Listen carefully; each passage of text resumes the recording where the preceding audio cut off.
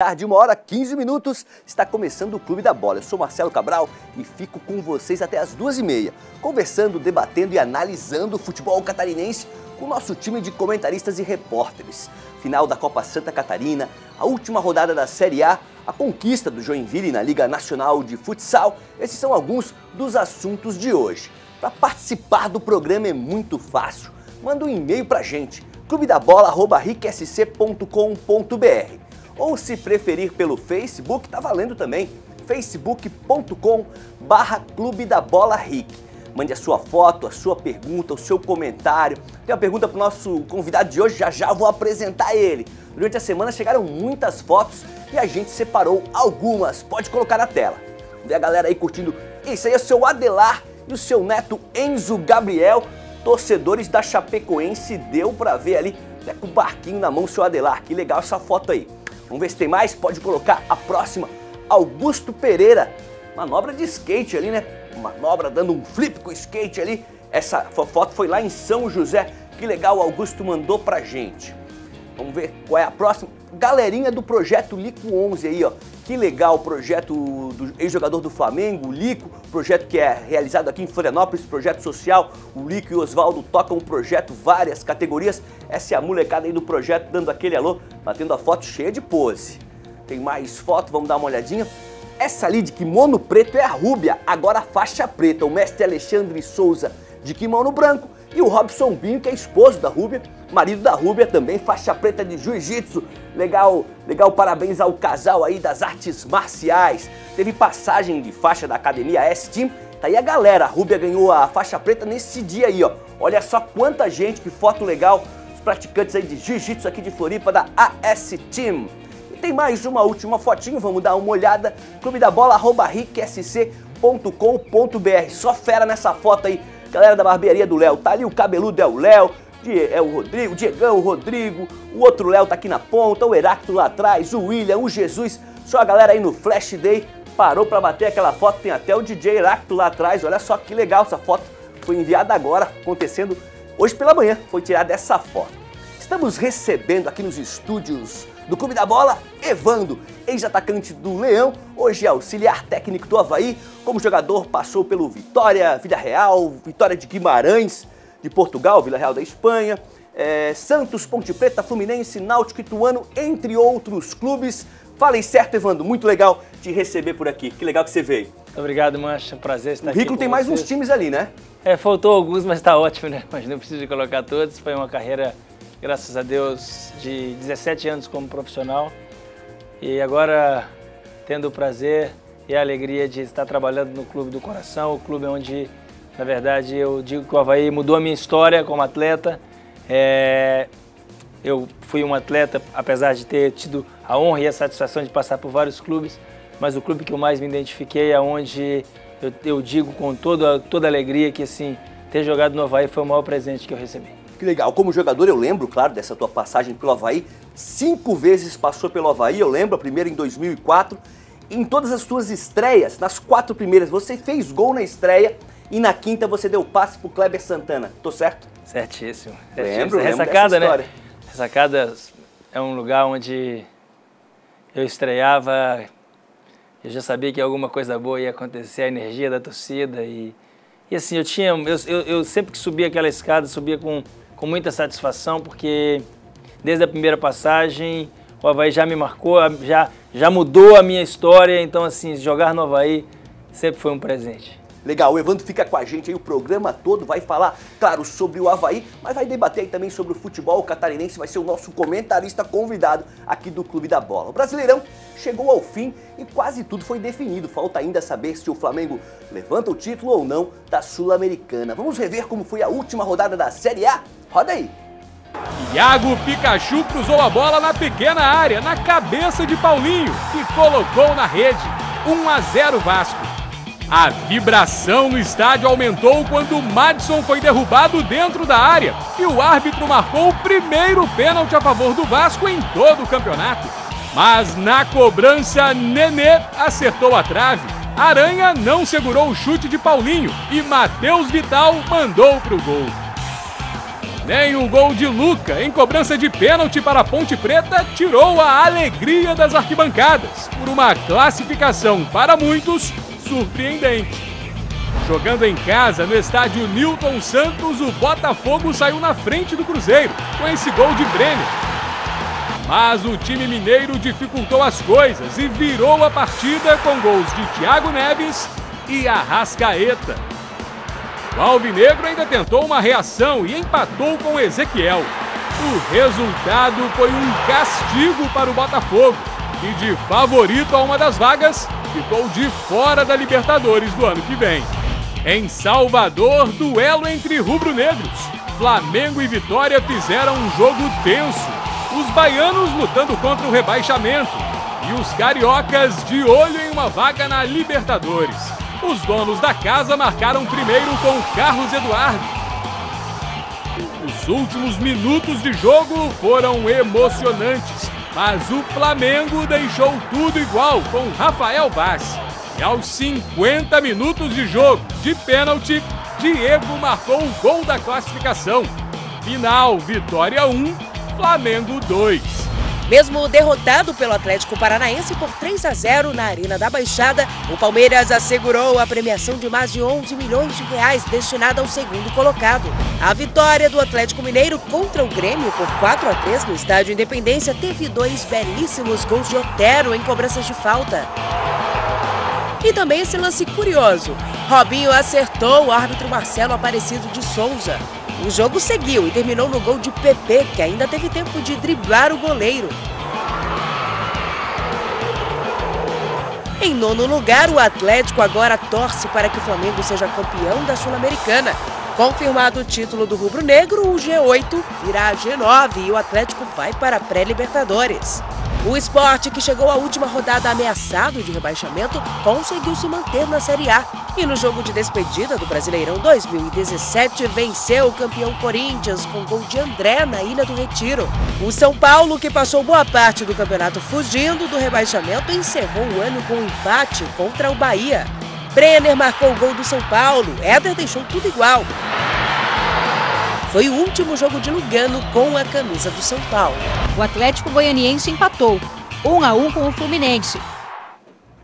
Tá aí, então os gols do Brasileirão, você percebeu que os catarinenses não estavam aí nesses gols do Brasileirão, porque a gente vai analisar agora separado. O Havaí precisava vencer o Santos e contar com outros resultados. Os outros resultados acabaram dando certo, mas o jogo ficou empatado. Tá vendo as cenas, vou pedir pro Evandro comentar. Tava lá, viu isso tudo de perto, né? Santos abriu o placar, a gente vai ver o gol do Copete aí num contra-ataque. A bola era do Havaí, era um escanteio. Na tentativa ali da cobrança do Marquinhos, o Santos recuperou. Copete fez 1 a 0, depois Pedro Castro fez esse golaço Evandro, mas a gente sabe aí que não foi nesse jogo não foi esse jogo que decretou o rebaixamento do Havaí. Foi algumas, é, alguns resultados que não aconteceram, principalmente em casa, né, Evandro? É, infelizmente, na verdade, nós fizemos uma fase final do campeonato e esse gol do Santos foi um gol, na verdade, uma jogada ensaiada de, de bola parada. A gente ainda tentou avisar que não dava, que a gente viu que um, um atleta do Santos, é, não sei se foi o Renato, avisou, ó, a bola vai, vai ser a bola voltada para trás, mas eu a gente ainda gritou com o Marcos, mas eu acho que ele não, não, não, não captou. E aí o João saiu para receber a bola curta, o Santos roubou, e aí o Santos, naquilo que ele é com Bruno Henrique e Copete, são, a, na verdade, as jogadas de mais. a característica que o Santos mais demonstrou durante a competição, que era a transição ofensiva. Infelizmente tomamos o gol, mas imediatamente conseguimos o empate com, com um belo gol é, do Pedro Castro, onde nós trabalhamos a bola pelo lado. Pedro teve paciência, trabalhou Marquinhos, Pedro, João, e o Pedro, o João passou por trás, o Pedro trouxe para dentro, acertou um belo chute. Depois fizemos um jogo equilibrado, com algumas chances no final do jogo para ter feito o gol. Infelizmente a gente não conseguiu e gente, nós estamos muito tristes pelo, por não ter conseguido esse, esse objetivo tão sonhado e tão trabalhado durante o campeonato, que é a permanência. E infelizmente, como você citou, alguns jogos dentro de casa contra equipes do nosso campeonato. Acho que ali sim foram os momentos em que nós deixamos a desejar. Contra os clubes grandes fizemos um grande campeonato, né? Comentávamos antes do programa que a gente dos primeiros a gente conseguiu dividir pontos ou até ser superior a algumas das equipes que ficaram na frente do campeonato. Então assim, foi um campeonato onde o Havaí mostrou a sua força, mostrou que, apesar do rebaixamento, jogou de igual para igual contra todos os clubes, contra clubes com orçamentos astronômicos. Fomos uma equipe equilibrada durante a competição. Talvez nesses jogos contra as equipes do nosso campeonato é, faltou um pouquinho e a gente não conseguiu o nosso tão sonhado objetivo. Legal. Ainda na Vila Belmiro, após o empate contra o Santos no vestiário visitante, o técnico Claudinei Oliveira falou com o elenco e, na sequência, o Marquinhos pediu a palavra. Justamente esse momento a gente separou para mostrar para vocês o depoimento emocionado. Roda aí. Eu só, só tenho a agradecer de tudo que vocês fizeram por mim e saber das minhas limitações e saber o quanto era difícil acordar e treino. Continua difícil. Mas vocês compraram, às vezes correndo por mim, batalhando pra c... Porque quando eu entrei em 2015, 2015 na sala de cirurgia, eu não sabia se eu ia voltar a jogar e falei, vocês fizeram esquema pra mim jogar, jogadores correram pra, mim, cara. Então, eu como reflexo do torcedor aqui dentro, cara, se eles estivessem aqui, eles iam fazer a mesma coisa que eu fazia agora. Abraçar um por um. E obrigado. Obrigado. Obrigado, cara. Obrigado. Obrigado. Obrigado. Obrigado. Obrigado.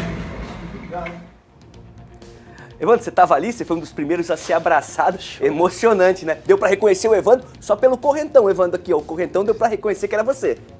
Tá, cara, até agora é difícil rever o momento. Eu tava chorando muito nesse momento. Na verdade, assim, a gente nunca teve dúvida da nossa permanência, nunca trabalhou pensando que nós íamos voltar à Série B.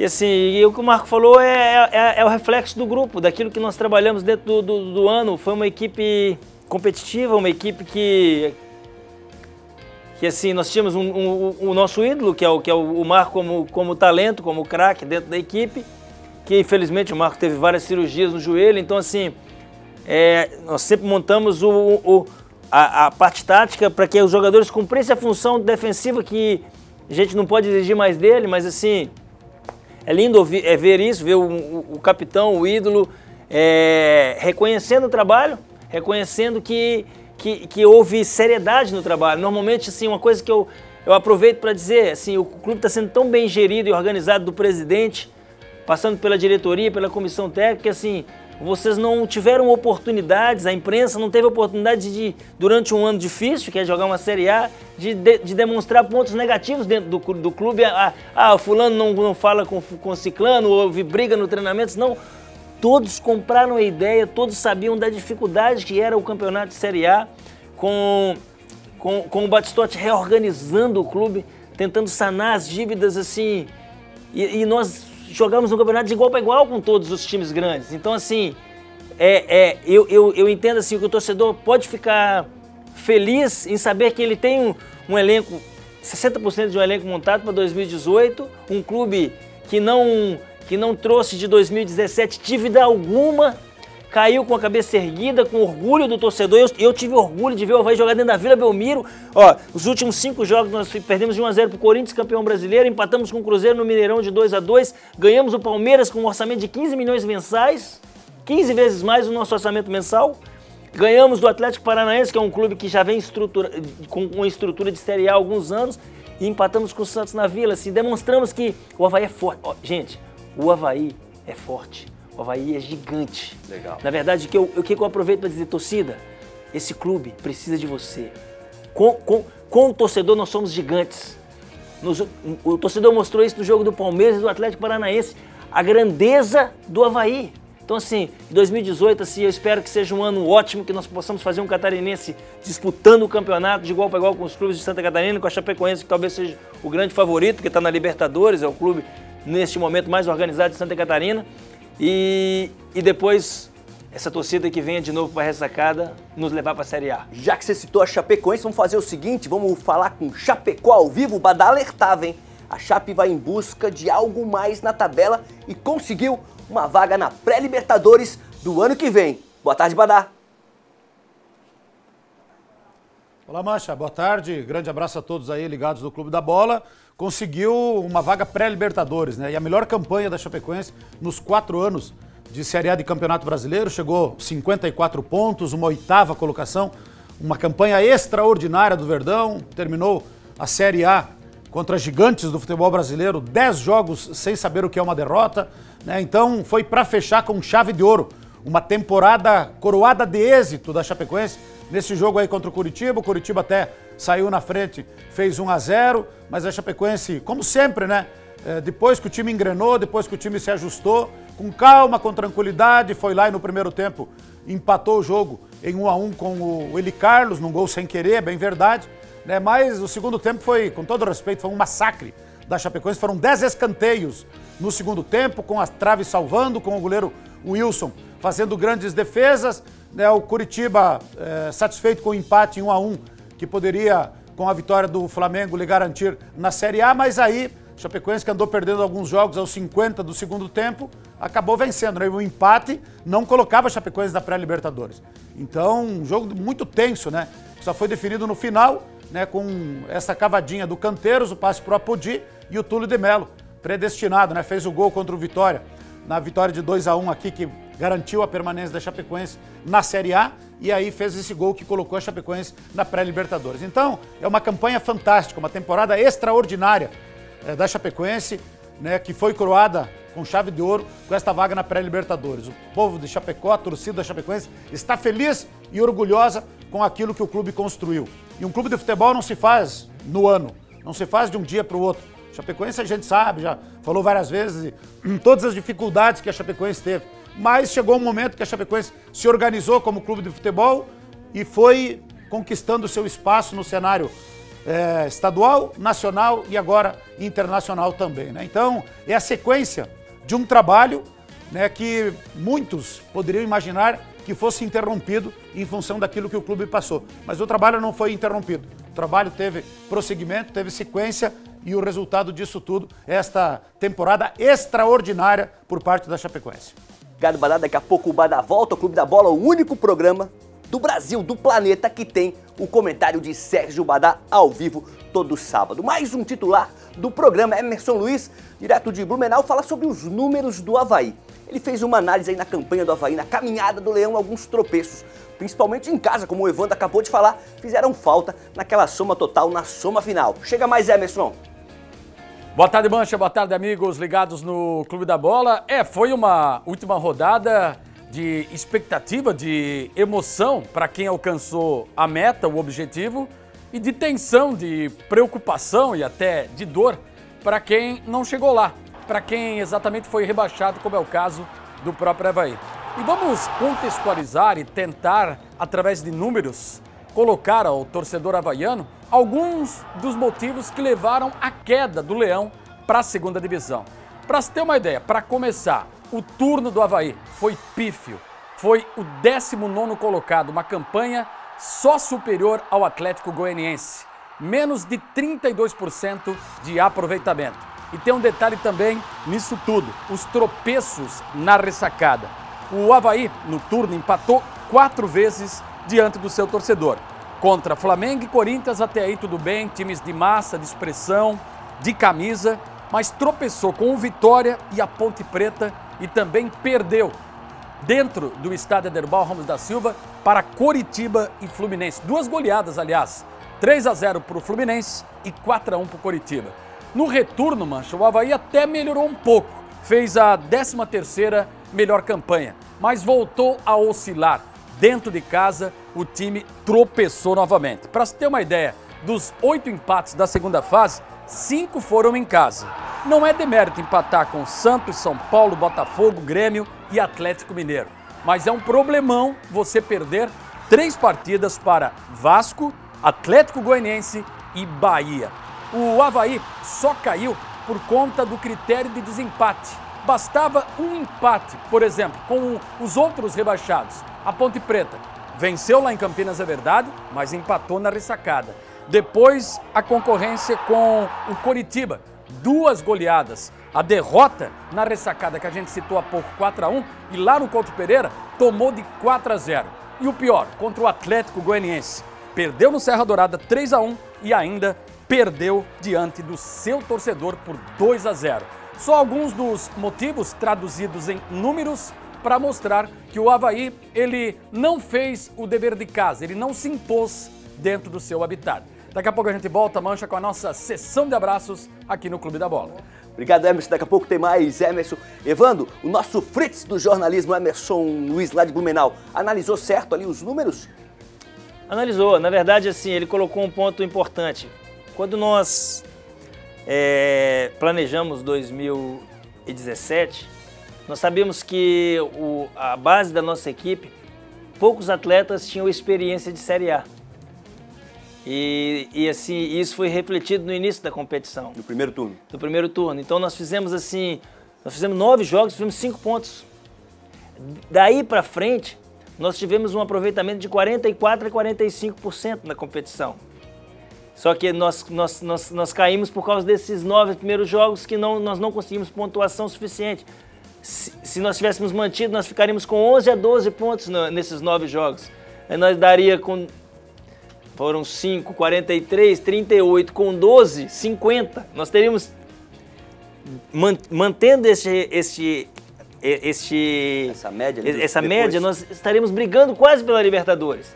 E assim, e não é trans, isso é nossa responsabilidade. A gente está triste por isso. Trabalhamos sem cessar para não para que isso não acontecesse. E uma das coisas também, Mancha, que também que eu posso colocar, assim, houveram lances cruciais por parte da arbitragem que nos prejudicou muito durante a competição. Isso não é transferência, a gente está aqui para assumir, mas pô, um pênalti contra o Cruzeiro que o Douglas bate na bola e a bola vai em uma direção para lá e marcar um pênalti no qual o goleiro bateu na bola, foi pisado, nós, ganhamos, nós empatamos com o Cruzeiro Mineirão 2 a 2 Então assim, então assim, e, ó, pênaltis que voltaram contra o Flamengo dentro da ressacada, o pênalti contra o Vitória, eu não vou nem comentar em cima do Júnior Dutra, que talvez seja o lance mais absurdo do Campeonato Brasileiro. Porque assim, é impossível o árbitro a 3 metros não ver que foi pênalti. O cara deu uma tesoura, o René, do zagueiro do Vitória, deu uma tesoura lembro. no Então, assim. Foi na primeira rodada? Foi na primeira, primeira rodada. rodada. lembro. Bastava só o pênalti do. E assim, nós podemos reclamar de pênalti por quê? Porque nós convertemos. Entre o Marquinhos e o Dutra, nós convertemos todos os pênaltis que foram a favor do Havaí. Então, assim, o cara dizer, mas você não tem certeza que ia, ia fazer o um gol, gol de pênalti. Mas, pô, mas pela média que todos os pênaltis marcados pelo Havaí foram gols. Legal. Tanto pelo Dutra como pelo Marquinhos. Então, são esses fatores, eu acho que ele analisou bem, mas eu acrescento essa situação porque eu acho que também foram importantes. O Evandro, auxiliar técnico do Havaí, continua com a gente aqui no Clube da Bola. Isso vai mudar de assunto. Da Série A para a Copa Santa Catarina. O Atlético Tubarão conquistou no último domingo o título da Copinha. Depois de vencer o primeiro jogo na casa do Brusque, um empate no sul do estado deu o título ao Peixe. Vamos relembrar, vamos ver como foi. Era dia de festa em Tubarão. O Peixe venceu em Brusque de virada e tinha vantagem de ser campeão com um empate. E aí o torcedor tricolor se empolgou, fez até mosaico. Mas talvez nem o mais confiante pudesse imaginar que com menos de dois minutos o Atlético Tubarão fosse abrir o placar. Alex Nemetes fez a jogada e deixou o Índio na boa para marcar. Gol! Ao Brusque restava ir para cima. Essa altura o time precisava de pelo menos dois gols para levar a partida para os pênaltis. Mas quando encontrava algum espaço para finalizar, parava em Gabriel. Veio o segundo tempo e a pressão do Bruscão finalmente surtiu efeito. Aos 10, Gustavo Xuxa lançou Aldair e o meio empatou. Gol! O clima ficou tenso. Bastava um gol para os visitantes levarem a decisão para os pênaltis. Aos 21, Jean Dias fez Gabriel espalmar uma bola venenosa. Mas a reação ficou difícil depois que o zagueiro Eurico tomou o segundo amarelo e o vermelho aos 24. E o Tubarão aproveitou. Só não marcou o segundo porque Dida também teve grande atuação. O gol não saiu, mas para os donos da casa o empate já estava de bom tamanho.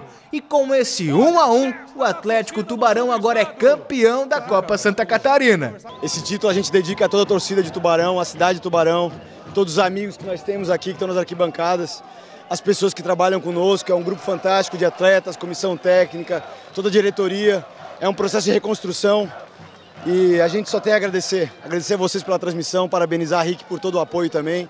parabenizar o Brusque pela grande partida que a gente fez. Foi um grande jogo de futebol, de altíssimo nível. O futebol catarinense saiu hoje vitorioso. E essa festa toda não é apenas pelo título da Copa Santa Catarina. É que com essa conquista, o Atlético Tubarão também assegura uma vaga na Copa do Brasil do ano que vem. O torcedor entendeu que é a competição, a diretoria entendeu que precisava para o ano que vem estar numa Copa do Brasil. Foi dada todas as condições necessárias para que pudesse acontecer o que aconteceu agora, esse grito de campeão.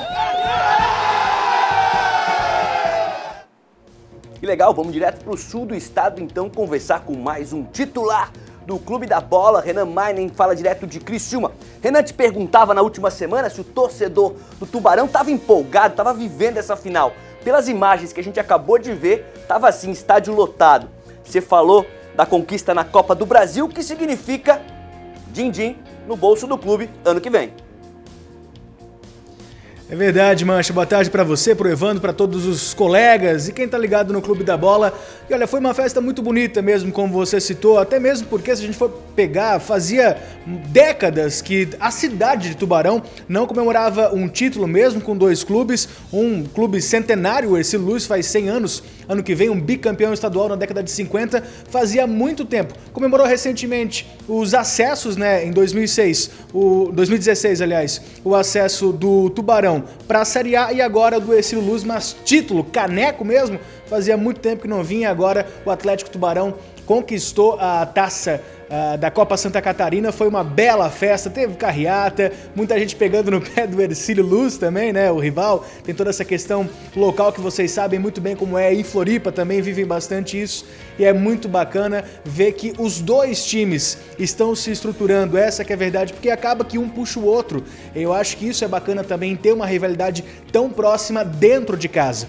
O Tubarão nem deu férias pra, pra turma, não. Teve uma folguinha uh, né, nos primeiros dias da semana, mas na quarta-feira o trabalho já recomeçou.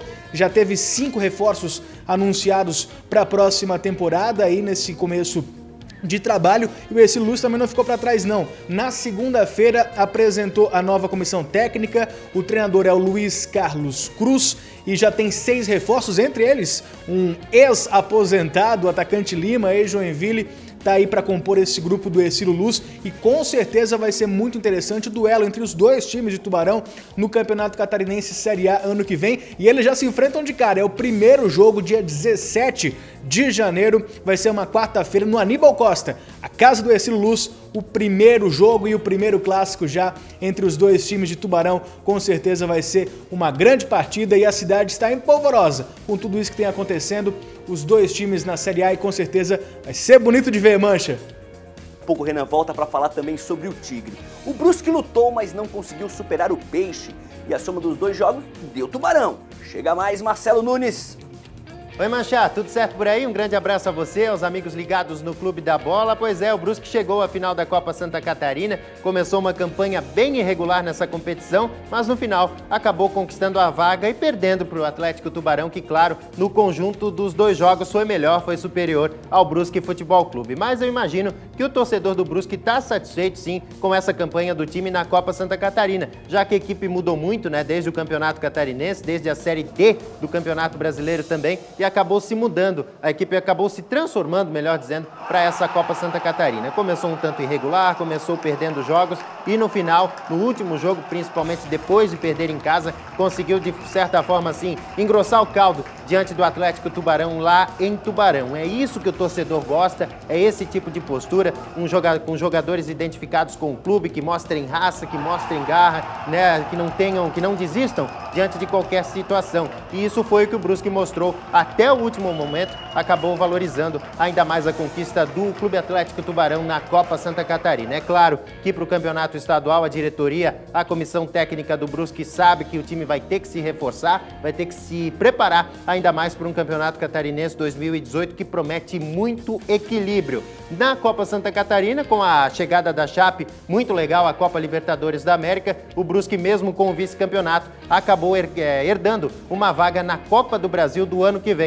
O Brusque viveu ainda recentemente, esse ano, esse privilégio, essa oportunidade de jogar uma Copa do Brasil e sabe como é isso é importante para as finanças do clube. Né? Em 2018, a Copa do Brasil tem uma premiação recorde. Só de entrada, os times vão faturar quase 500 mil reais. E isso para o futebol catarinense, claro, tirando aí a Chapecoense, ou quem sabe até o Havaí que estão no outro patamar, é muita grana, é muito dinheiro para o Brusque ter um 2018 que já tem o ano inteiro com o calendário, ainda com caixa reforçado. Com certeza, a perspectiva por esse ano de 2017 é que o 2018 do Brusque seja bem interessante. Mancha!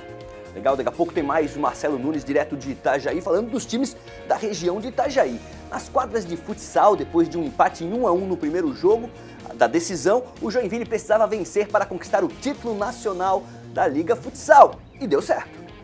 Com o um apito, o que se viu foi equilíbrio dos dois lados e muita provocação. A Soeva não quis saber da pressão da torcida e abriu o placar com o experiente Valdim. O empate tricolor veio ainda no primeiro tempo. Na súmula, gol de Jackson Samurai, mas que contou com desvio de Eka, 1 a 1. E a cinco minutos do fim, Jackson Samurai soltou a bomba na cobrança de falta para virar o placar, 2 a 1. Na jogada trabalhada de Renatinho, Valdim recebeu embaixo da trave e deixou tudo igual. Na prorrogação, os dois defensores trabalharam muito. Quando faltava um minuto para o jogo acabar, a angústia do torcedor joinvilense teve fim. Jackson Samurai novamente disparou com força. André Deco tentou, mas a bola morreu no fundo da rede. Aí foi só esperar o apito final para a festa começar. O Greto estava entalado na garganta. Em outras duas oportunidades, em 2007 e 2012, o Jack havia ficado com o vice-campeonato. Mas neste ano, a taça da Liga Nacional de Futsal fica na maior cidade do estado. Estou tendo a oportunidade, depois de 10 anos, realizar o sonho de muitos joinvilenses e particularmente para mim. A gente sabia que aqui dentro a gente era muito forte durante a liga toda. E hoje a gente fez a nossa campanha valer a pena. E esse título é desejar para essa torcida maravilhosa. Que legal, Evandro, você sempre foi muito habilidoso com a bola. Eu me lembro de acompanhar os treinos lá da Havaí, você fazia aquela brincadeirinha com a bola, antes do aquecimento, no treino. Você passou pelas quadras de futsal? Não, não joguei futsal. Talvez se eu tivesse jogado, poderia ter sido um atleta mais completo. Na verdade, é assim que futsal hoje os clubes têm utilizado, até o Havaí está com esse trabalho clubes têm utilizado o futsal né, como trabalho de, de iniciação, que na verdade assim a, a, criança tem mais contato com a bola, mais trabalha mais a, a coordenação fina, né? Porque você está sempre com a bola, pisando na bola e então eu, eu não tive esse privilégio, mas gosto de brincar. Às vezes quando tem a oportunidade, dá um tempinho a gente brinca, mas nunca joguei. Quem jogou muito futsal foi o Dr. Juca Miguel, que está lá em Joinville para falar com a gente ao vivo sobre essa conquista do Jack. Você acompanhou toda a trajetória do Jack na liga e, claro, comemorou muito. Você estava lá, lá na quadra, não estava, Juca? Boa tarde. Boa tarde, boa tarde Mancha, boa tarde Evandro, boa tarde Badá. Imagina se o Evandro tivesse jogado futsal, então o que, que não ia jogar, né? Muito habilidoso. Parabéns, Evandro, por toda a sua trajetória. Mas o futsal foi bem bacana, Mancha. Eu estive lá no Centro Eventos Calhans e acompanhando enfim, toda essa trajetória do futsal de Joinville, que já tinha, como bem disse o Luan na matéria, batido na trave duas vezes. O Vander retornou depois de 10 anos, conseguiu, enfim, esse título tão sonhado para a cidade. O futsal de Joinville praticamente já conquistou tudo que disputou, mas faltava a Liga Futsal. A gente costumava dizer, costuma dizer que é a cerejinha do bolo, porque são, é uma competição, é como se fosse um campeonato brasileiro de Série A, né? Você pega equipes, o Falcão acabou ficando no meio do caminho, o Carlos Barbosa também ficou no meio do caminho, equipes tradicionais, equipes fortes. O estado de Santa Catarina é muito forte, tem Joaçaba, tem Concórdia, tem Tubarão, Blumenau, Joinville, Jaraguá, enfim, são cidades que investem muito. Própria Florianópolis também a gente torce para que futsal por aí também retorne, porque é mais uma potência. Enfim, futsal de Floripa também tem um retrospecto bacana, mas foi a vitória do coletivo. Os outros anos já chegou a ser base de seleção brasileira futsal de Joinville, mas faltava conjunto, faltava pegada, faltava aquilo que a gente viu o Evandro falar sobre o Marquinhos no vestiário, união, pegada, e esse ano o coletivo prevaleceu. Claro que o técnico Vander Iacovino sobrou, fez um trabalho de excelência, jogadas ensaiadas, jogadas trabalhadas, conseguiu montar três ou quatro quartetos aí que Joinville conseguiu manter a longo prazo. Mas é isso, uma equipe sólida, uma equipe que jogou pela cidade. Jackson Samurai, o Vander, Xuxa, enfim, toda a rapaziada do próprio ECA, os caras pegaram junto mesmo, vestiram a camisa, coisa que a gente sabe, né, Ivandro, que hoje é muito difícil um jogador jogar realmente por amor, como a gente percebe o Marquinhos do Havaí, Fernandes, enfim, outros atletas que já passaram pelo estado também, pelo próprio Joinville, no caso do goleiro Ivan, que são jogadores que têm uma identificação muito grande e esses caras jogaram realmente pela cidade e vão em busca aí da tal tríplice coroa. Conquistaram a Taça Brasil no início do ano, conquistaram a Liga Nacional e agora hoje às 19 horas e 15 minutos joga o jogo da volta da semifinal do Campeonato Estadual. Se ganhar tudo aí sim vira um ano mágico. Mas parabéns, vitória do coletivo e como é, como é legal né? a gente perceber quando as coisas funcionam, quando um time é harmônico, quando um time um joga pelo outro, um corre pelo outro, enfim, é isso, mas venceu o Joinville Futsal, já que Futsal antigamente era o nome de uma outra empresa que patrocinava, aí este ano voltou o Jack a patrocinar a camisa, a vestir, né? Até porque agora na MP do futebol os clubes têm que ter outros esportes e o Jack foi pro futsal, voltou pro futsal e voltou aí dando muita sorte, campeão brasileiro da Liga Nacional. Obrigado, Juca. Daqui a pouco tem mais Juca, Evandro, Badá, Marcelo, time completo do Clube da Bola. Um rápido intervalo. Não sai daí.